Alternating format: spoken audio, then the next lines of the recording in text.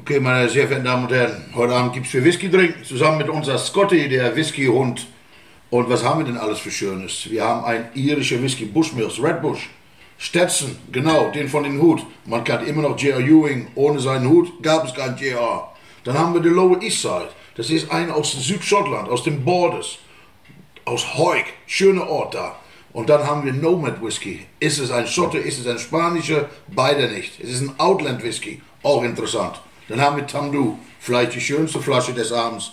Eine schöne Sherry Whisky, ja, mit einer viktorianischen Flasche. So heißt das, Scotty, viktorians.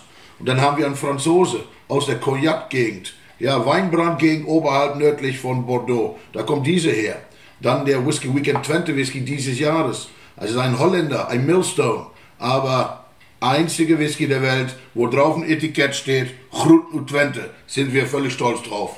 Und der letzte ist mein eigener, Henry's Choice, ein Hammer from Isla. Was es ist, eine Überraschung. Aber eins ist sicher, 22,3% mit Torf.